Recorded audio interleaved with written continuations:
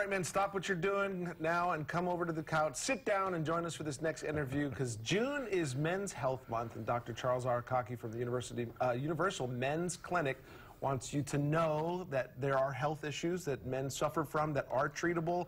Uh, joining the doc is UFC Hall of Famer and uh, stuntman, athlete, cover two analyst, Frank Trigg. Thank you guys for being here. I appreciate it. Thanks, Thanks. for having us. Tell us about uh, June and Men's Health Month. Yeah, you know, uh, June is designated uh, Men's Health Month uh, because, you know, men tend to not want to come in and see their doctors. Uh, so we, we want to remind uh, men to, to, if you haven't seen your doctor in a while, go see them and get your blood pressure checked, get your cholesterol, get your glucose checked. Um, if you're feeling the symptoms of low testosterone, get your testosterone levels checked. Um, you know, things such as decreased energy, strength, endurance, maybe not performing in the bedroom as, as, as well as you did previously. These are signs that maybe your check engine light might be on mm. and, and go in and get it uh, checked. And if you uh, need to just fall asleep, we can listen to your voice because it's so soothing. I, I, I, love listening to your commercial because I'm like, man, oh man, you've got a great voice for television. Okay, so tell us, why should men get their testosterone level checked?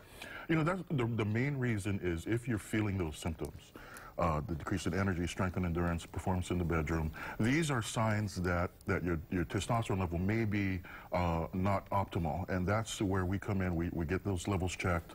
Uh, if, they're, uh, um, if they need to be treated, we address it. We check all the different labs that need to be monitored whenever you're on testosterone, because as we age, unfortunately, we lose 1% to 2% of our testosterone production per year. Wow. And if you have a stressful job, unfortunately, that can even uh, further decrease your testosterone production.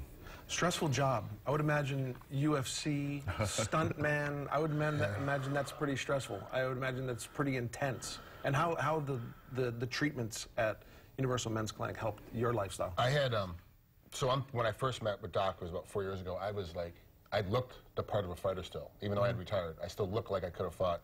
I thought when I took the first blood draw that they would like find the cure for cancer in my bloodstream and, and want to replicate it to stop all, you know, everyone's cholesterol and stop everyone's heart attack because I was such physically fit. Wow. And then you, you, get that, that game show noise when you screw up on the on the game that, that when you lose. yeah, yeah. That's what that's what I heard when he called me. It was like, hey, look, by the way, you're you're at one third the level you're supposed to be at the lowest end. So wow. I was I had every symptom but kept blaming it on something else.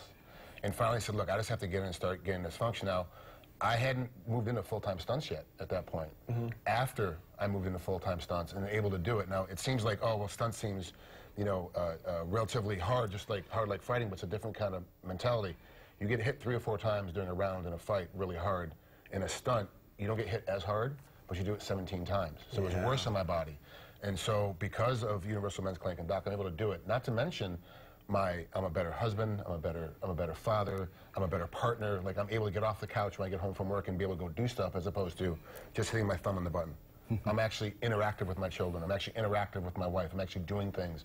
Want to go out, want to cook dinner, want to go hiking, which ultimately end of the day, because my partnership is better, my stunts are better, my acting is better, my commentary is better, everything is better because I don't have that stress for being at home. And it's, it's kind of that, that significant ball rolling thing that got me started. It was like, wow, I really need to get my, my levels checked up and check what's happening with my body. Iron Man.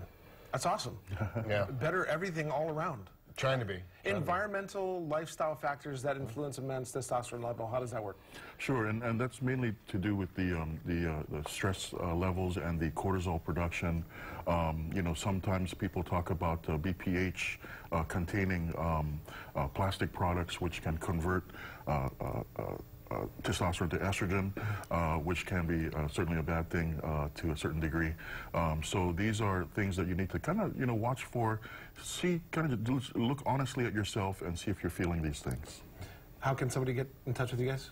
UniversalMen'sClinic.com, and they can make an appointment right online, or uh, they can give us a call uh, at 237-3663.